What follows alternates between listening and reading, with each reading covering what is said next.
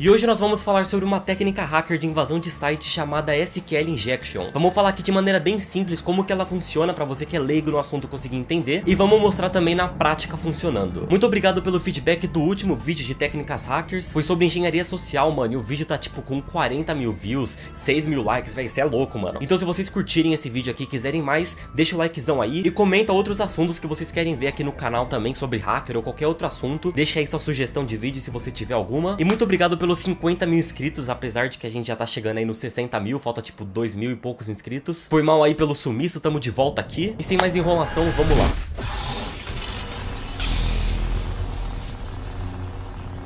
O SQL Injection é nada mais do que uma técnica de você invadir um banco de dados injetando códigos nele. E para entender como que essa técnica funciona, primeiro a gente precisa entender como que funciona o banco de dados. Um banco de dados é onde ficam salvos os dados de algum site, por meio de tabelas e colunas. Por exemplo, eu tenho uma escola, então o banco de dados dessa escola vai se chamar escola. E aí eu crio uma tabela chamada funcionários, e dentro dessa tabela eu crio algumas colunas, como professores, diretores, inspetores e tal. E aí dentro dessas colunas eu vou jogando o nome da galera que trabalha lá. Por meio dessa separação de categorias, eu vou formando o meu banco de dados. Depois eu crio uma tabela alunos, tabela estacionamento, sei lá, e assim por diante. Porém, como nós estamos falando aqui de invasão de site, tem que existir uma tabela chamada usuários. E dentro dessa tabela tem que ter a coluna login e senha para você poder entrar no site. Ah, e o nome da tabela é o criador do banco de dados que dá, não precisa necessariamente ser funcionários ou usuários, pode ser qualquer coisa. Mas ok, a tabela usuários recebe as colunas login e senha. Quando você vai se registrar nesse site aí da escola, você está adicionando informações dessas duas colunas. E quando você vai logar você tá verificando se as informações que você tá passando ali no login e na senha existem lá no banco de dados, ou seja, se existir quer dizer que é verdadeiro, então vai deixar você entrar. Se não existir, ou seja, se for falso, ele não vai deixar você entrar. E essa verificação acontece por meio de um código. Vamos supor aqui que meu login é Pinheiro e minha senha é 123123, sei lá. Ah, se minha voz estiver zoada aí, desculpa, eu tô meio zoado da garganta aqui. O código que vai ser executado quando eu clicar em login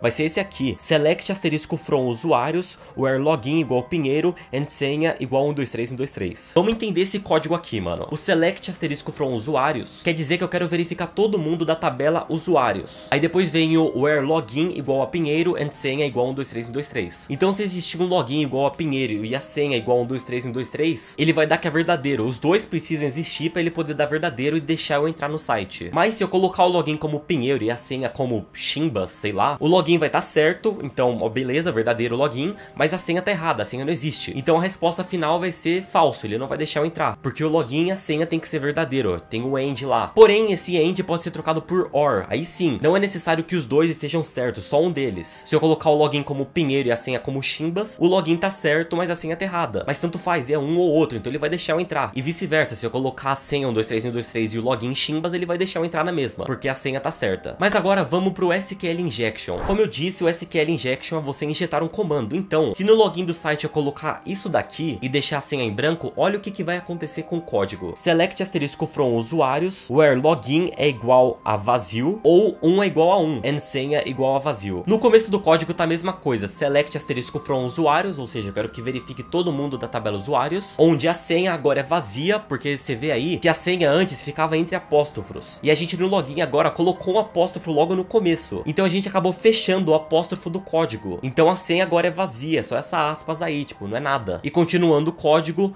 or 1 é igual a 1. E depois tem um ponto e vírgula e os três tracinhos, que significa que o que vem depois não importa mais. Vamos executar o código aqui. Select from usuários, ou seja, você vai verificar todo mundo da tabela usuários, onde o login é vazio, ou 1 é igual a 1. Existe algum login vazio? Não. Então é falso. 1 é igual a 1? Sim. Então, verdadeiro, deixa o cara entrar. Ou o login tem que estar tá certo, ou o 1 igual a 1 tem que estar tá certo. 1 igual a 1 é 1 igual a 1, é verdadeiro. Então ele deixa eu entrar. Vocês perceberam que a gente injetou um código ali? Não era pra isso acontecer. A gente colocou um login que adicionou um código dentro do código que já estava pronto lá do SQL, e a gente fez o sistema fazer uma coisa que não era pra ele fazer, que era verificar se 1 é igual a 1 é verdadeiro. E como é verdadeiro, a gente consegue entrar. E por meio dessa lógica simples de ficar adicionando comandos assim no SQL, existem vários outros comandos quando você troca de página e carrega coisa, ou você tá enviando uma foto pro site, coisa do tipo, são vários comandos SQL que estão sendo executados. E se você consegue injetando várias coisas, chega uma hora que você consegue ter acesso ao banco de dados. E é aí que o bagulho fica louco. Porque tendo acesso ao banco de dados, você consegue consegue login senha de todo mundo, consegue informação de cartão de crédito, você consegue fazer muita coisa. Mas beleza, já que você entendeu como funciona aqui na teoria, vamos pra prática. E estamos aqui no Kali Linux, aquele sistema operacional que eu já falei uns vídeos atrás aí, no vídeo de termos hackers eu falei sobre ele. É um sistema que vem equipado com muitas ferramentas de hacker, mano. E bom, o que a gente vai fazer aqui é invadir um site que é permitido invadir. O site é feito para você poder testar seus conhecimentos e tal. Invasão de site sem autorização é crime, então fique esperto aí. Bom, o site é esse aqui. E agora a gente vai procurar algum link aqui, vamos dar uma vasculhada nele, onde o link aqui termine com ID igual, ou alguma coisa igual. Bom, tem essa página aqui, que seria tipo dos posters. A gente vê aqui que tem cat igual a 1. A gente vai colocar o tracinho em cima, o apóstrofo é o nome disso. A gente vai colocar esse negócio aqui e a gente vai ver se isso daqui ele vai interferir alguma coisa naquele código lá que eu falei. Quando a gente tá entrando no site, um comando no banco de dados está sendo executado. Então vamos ver se com esse apóstrofo aqui ele vai dar algum erro ou não.